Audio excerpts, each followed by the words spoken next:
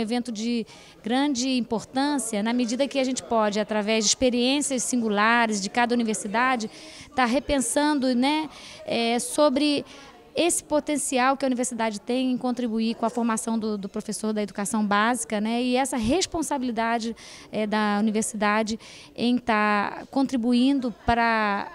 o atendimento né, dos, é, das escolas básicas e, no caso, é, formando melhor seus professores numa interação entre universidade e escola.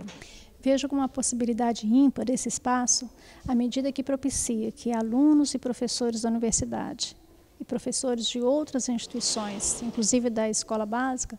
tenham as condições de, ao refletirem sobre o seu trabalho docente, sobre as demandas desse trabalho, discutir e, e identificar quais são as lacunas desse processo. Eu acredito que mais importante seja que agora a comunidade acadêmica ocupe esse espaço para realmente sugerir novas propostas e mudanças para que a gente possa repensar a universidade.